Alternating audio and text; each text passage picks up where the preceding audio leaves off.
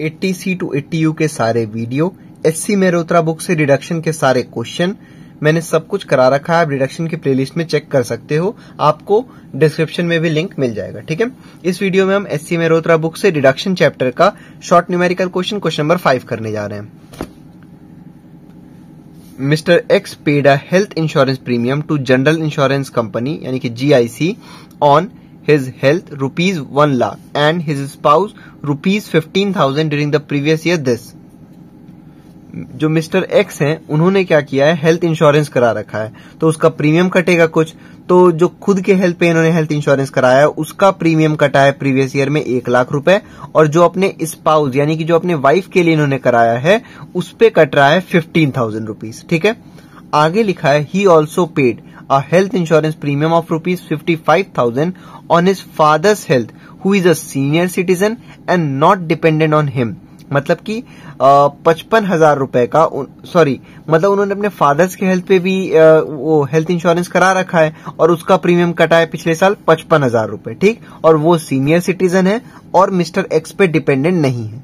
आगे लिखा है the payments have not been made in cash अब देखो अभी मैं क्वेश्चन पढ़ने से पहले, अगर आपने मेरी सारी डिडक्शन वाली वीडियो देखी होगी तो आपको पता होगा कि जब भी जैसे लाइफ इंश्योरेंस प्रीमियम की बात हो तो वो चला जाता है कहाँ पे? 80 सी में। और जब भी हेल्थ इंश्योरेंस प्रीमियम की बात हो तो वो जाता है 80 डी में। और देखो यहाँ वही पूछा है compute the amount of deduction under section 80 D from his GTI मतलब कि कितना डिडक्शन 80 डी में आएगा कि उसको जीटीआई में से लेस किया जाए, ठीक? 80 डी की वीडियो अगर आपने नहीं देखी है तो आपको डिस्क्रिप्शन में भी लिंक मिल जाएगी और आप 80 डी डिडक्शन के प्लेलिस्ट में भी जाके देख सकते हो, वहाँ से देख लो तो आपको समझ में आ जाएगा। 80 डी में दो कंडीशन होती है, एक एज लेस देन 60 इयर्स की, एक एज लेस देन एक एज अबव 60 इयर्स की, ठीक है? तो जैसा कि देख रहे हो आप, इनके जो पापा थे फादर थे, उनके ऊपर तो बता दिया है कि वो सीनियर सिटीजन है, ठीक है? लेकिन ये जो मिस्टर एक्स और उनकी वाइफ है, उनका नहीं बताया गया है कि वो सीनियर सिटीजन है कि नहीं। तो जब भी नहीं बताया गया है तो आप मानोगे कि वो सीनियर सिटीजन नहीं है, पहला चीज़। तो सबसे पहले आप देखो, जो 80 डी है, उसमें दो अलग अलग कंडीशन है। एक खुद के लिए स्पाउस के लिए और डिपेंडेंट चिल्ड्रन के लिए एक में और एक है फॉर पेरेंट्स ठीक है? तो सबसे पहले अभी आप पेरेंट्स का भूल जाओ। सिर्फ़ देखो कि खुद का और जो वाइफ का लिया है वो किसमें आएगा? इसमें। दूसरी चीज़, मैंने कहा कि जब भी क्वेश्चन में नहीं बताया हो कि वो 60 इयर्स के हैं या 60 इयर्स के अबव हैं तो आप मानना कि वो 60 साल से कम के हैं।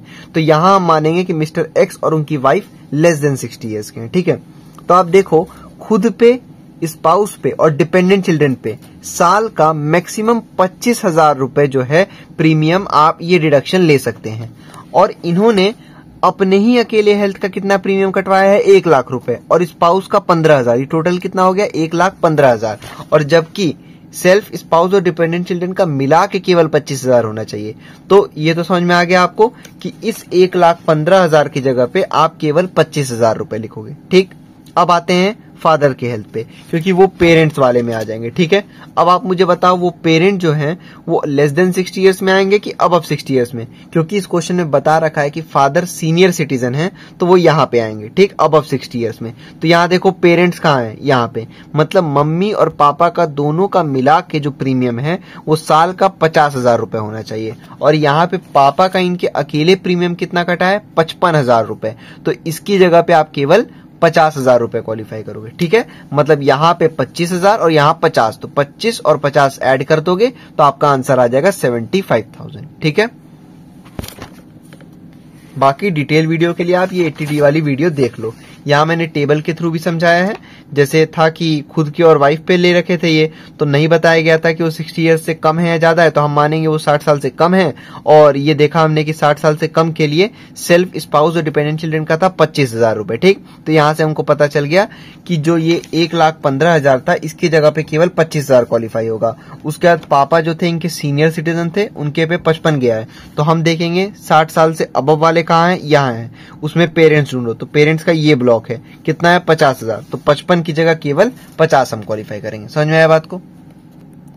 सॉल्यूशन देखते हैं फाइव का। इसमें हमको निकालना है एट्टी डी का डिडक्शन तो आप लिखोगे यहाँ पे computation of deduction under section 80 D तो आप इसको लिखोगे पहले health insurance premium for self and spouse तो मिस्टर एक्स ने खुद के ऊपर जो प्रीमियम कटवाया है वो है एक लाख रुपए और जो वाइफ का प्रीमियम कटा है वो है पंद्रह हज़ार रुपए का। तो ये कितना हो गया टोटल एक लाख पंद्रह हज़ार। ठीक है? यहाँ लिखोगे आप मैक्सिमम डिडक्शन अलाउड कितना होता है? पच्चीस हज़ार रुपए। क्योंकि यहाँ पे नहीं बताया गया है कि ये सीनियर सिटीजन है कि नहीं तो हम मानेंगे कि मिस्टर एक्स और उनकी वाइफ नॉन सीनियर सिटीजन है। मतलब वो अभी सीनियर सिटीजन नहीं है। तो केवल पच्चीस हज़ार रुपए तक क्वालिफाई होता है। तो आप यहाँ लिख दो बाहर, पच्चीस हज़ार रुपए। समझ में आ गया बात को? अब उसके बाद था पापा के हेल्थ तो एट्टी डी में दो कंडीशन थी। एक था self spouse and dependent children तो वो यहाँ पे हो गया। एक था पेरेंट्स के लिए। तो अब यहाँ लिखो health insurance premium for parents तो यहाँ पे माता पिता दोनों के लिए नहीं लिया गया, केवल फादर के लिए लिया गया। तो आप लिखो फादर ठीक है? अब, इनका भी पहले यहाँ पे अमाउंट लिखो, कितना है? पचपन हज़ार रुपए। और बता अच्छा देखो, इस क्वेश्चन में बोला गया था कि वो नॉट डिपेंडेंट ऑन हिम उससे मतलब नहीं है डिपेंडेंट हो कि ना हो।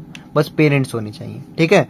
दूसरी चीज़, अगर यहाँ बोल देता या कुछ नहीं बोलता, अगर लिखता कि ये ये सीनियर सिटीजन नहीं है तो इनका भी केवल पच्चीस हज़ार जाता माता पिता दोनों का मिला के, ठीक? बाकी क्वेश्चन में बोल दिया गया है कि जो फादर है उनके, वो सीनियर सिटीजन है। तो सीनियर सिटीजन के केस में मैक्सिमम डिडक्शन जो अलाउ होता है पेरेंट्स के लिए, वो है पचास हज़ार रुपए। ठीक? तो पचपन हज़ार की जगह बाहर लिखोगे आप, केवल फिफ्टी थाउज़ेंड रुपीज़ और कुछ है नहीं, दोनों को ऐड कर दो, हो गया सेवेंटी फाइव थाउज़ेंड यहाँ लिखो deduction under section eighty D ठीक है?